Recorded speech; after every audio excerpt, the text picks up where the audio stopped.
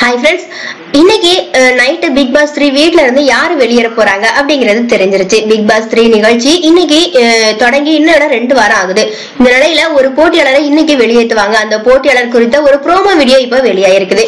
நிகழ்ச்சியை தொகுத்து வழங்குற கமலஹாசன் வழக்கம் போல சஸ்பென்ஸ் வச்சு பேசுறாரு. வீடியோல கமலஹாசன் தன்னோட கையில இருக்கிற கார்டுல இருக்கிற பேரை பார்வையாளர்கள் கிட்ட காட்டிட்டு போட்டியாளர்களை பார்த்து உங்களுக்கும் காட்டட்டுமா அப்படின்னு சொல்லி கேக்குறாரு. அபிராமி முகத்துல ஈயே அடல. சாட்சி எதையோ பறிகொடுத்த மாதிரியா உட்கார்ந்திருக்காங்க. பிக் பாஸ் த்ரீ வீட்ல இருந்து இன்னைக்கு வெளியேற போற போட்டியாளர் பாத்திமா பாபு அப்படிங்கிற ஒரு முடிவுக்கு வந்துட்டாங்க.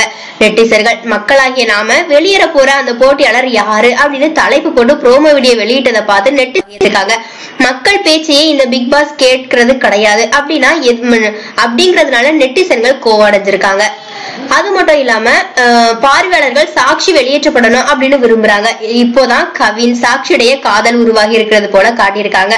அந்த காதலை பில்டப் பண்ணி இன்னும் பல வாரத்துக்கு ஓட்டலாம். அப்படி இருக்கும்போது சாட்சி எப்படி வெளிவா வெளியேற்றுவாரு பிக் பாஸ்? அப்படிங்கிற மாதிரியான ஒரு விமர்சனம் எழுந்திருக்குது.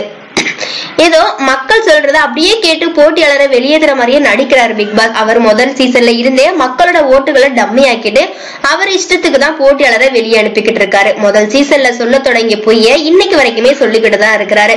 மக்கள் மக்கள் அப்படின்னு சொல்றத முதல்ல நிறுத்துங்க பிக் பாஸ் அப்படின்னு பார்வையாளர்கள் செம்மையா கடுப்பாயிருக்காங்க.